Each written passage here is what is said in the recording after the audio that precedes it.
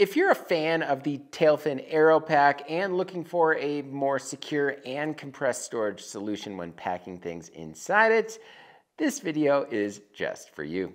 Let's do it.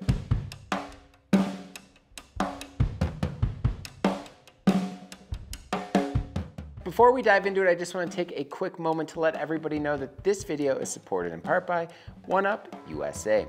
OneUp combines superior materials and craftsmanship with a keen understanding for what you need to get your bike and gear to your next adventure. Whether you're an enthusiast, weekend warrior, or pro cyclist, the result is simple, durable, no hassle racks and accessories that you can trust will last for the long haul. No matter what you ride, your bike deserves OneUp USA. So to learn a little bit more about their made in the USA range of bike racks and accessories, click on the card in the top right corner or also follow the link in the description below. All right, so I've been using the Tailfin Aero Pack on and off for the last two years.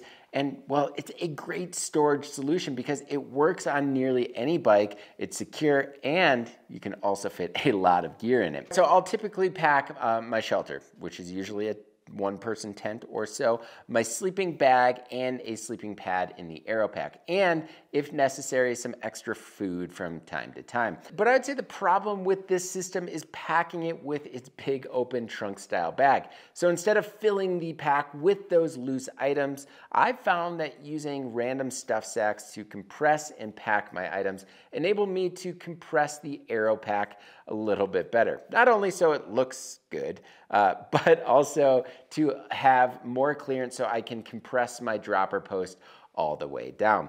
While using my makeshift stuff sacks is nice, it certainly was not the perfect solution.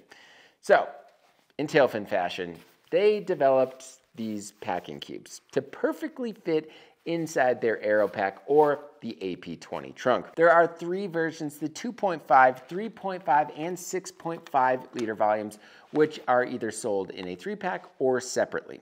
The 6.5 and the 3.5 version are tapered to fit the front of the Aero Pack or the AP20, and the 2.5 liter is more of an actual cube shape, and all three actually come in at 151 grams and are made of a ripstop fabric. Each cube has a wide opening uh, at the top to easily install your belongings, but comes with extra long and oversized spring locks and cords to loosen or tighten down the main compartment. All three bags basically have a top and a bottom. The bottom is made out of a more durable material with a DWR finish, so you can set it on the ground after unpacking without any worries.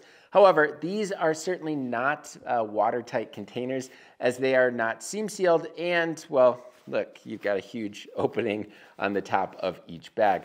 Each bag does have different features. The 6.5 liter has a main compartment zipper to access items without actually having to take the whole cube out. The 3.5 liter version has a mesh outer pocket to hold smaller items and the 2.5 liter version is a big cube with five internal mesh pockets for smaller items inside. And after looking at the press release photos, it appears that they use the 2.5 liter version to be almost like a kitchen organizer, so to speak. Finally, all three cubes are lighter in color for better contrast against that black Aeropack or AP20 trunk. All right, so I just got these not too long ago, so I actually have not been able to use these on an actual overnight trip yet. And I have only been playing around with them for a few days, so these opinions are primarily based on a first look experience. But I do have some initial thoughts here.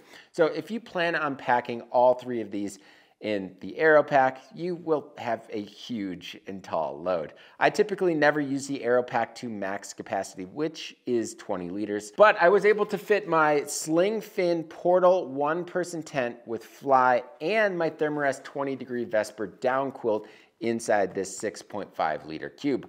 I also packed my Tyvek ground cloth and sleeping pad on top of that inside the Aero Pack. So all said, it packs down really well and the 6.5 liter bag fits inside the Aero Pack like a glove. It's certainly a much better system than my makeshift stuff sacks as it perfectly tapers to fit the complete footprint and space of the Aero Pack. That being said, I really would be hesitant. It would have to be a very unique situation where I would pack all three bags in there as it would certainly add a lot of height and look a little goofy.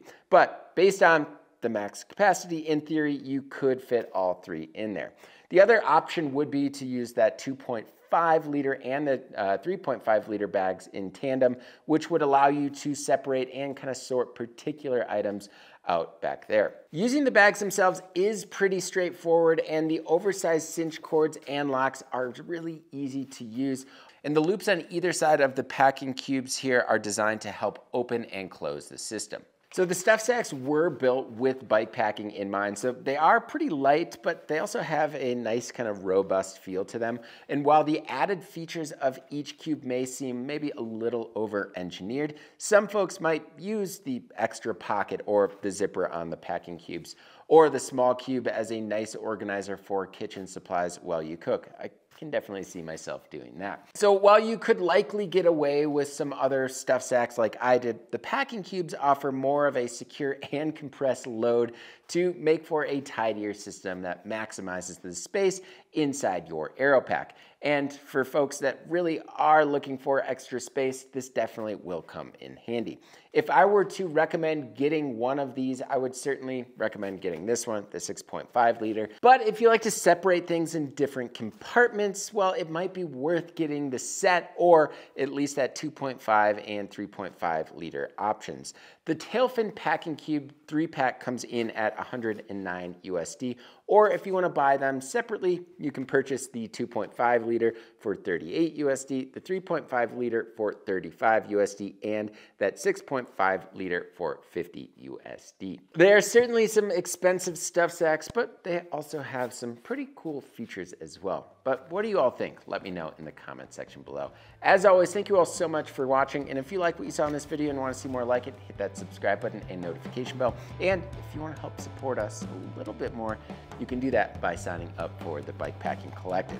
The Bikepacking Collective offers a lot of perks, including industry discounts, monthly giveaways, and the twice yearly Bikepacking Journal. So to learn a little bit more about the Bikepacking Collective, you can click on the card in the top right corner or also follow the link in the description below. As always, thank you all so much for watching. Until next time, pedal further.